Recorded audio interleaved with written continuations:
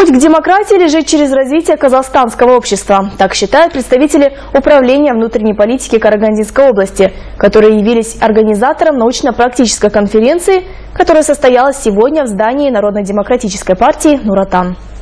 Следуя словам главы государства Нурсултана Абишича Назарбаева, мы строим свободное и открытое демократическое общество. Работники Управления внутренней политики организовали областную научно-практическую конференцию под названием «Предпосылки и перспективы демократизации казахстанского общества», главной целью которой является...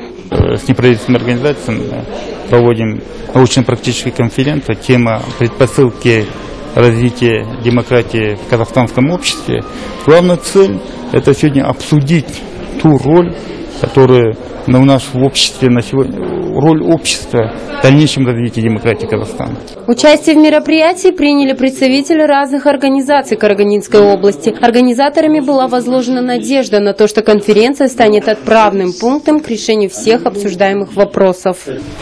И сегодня надеюсь, что наша областная научно-практическая конференция, работой которой принимают э, руководители областных филиалов политических партий, представители государственных органов, неправительственных организаций, э, ученых, студентов, станет местом рождения новых идей по дальнейшему развитию демократии демократизации нашего общества.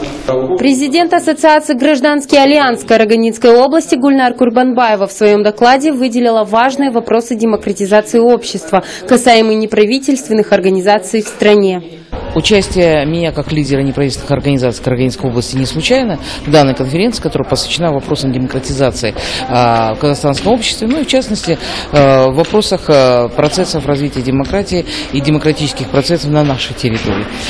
Безусловно, что неправительственный сектор – это то самое гражданское общество, которое по сути составляет основу демократизации в любом государстве, в, в любом обществе. Аида Ибраева, Олжас Габасов, Евгений Афанасьев, Первый Карагандинский. Jesus.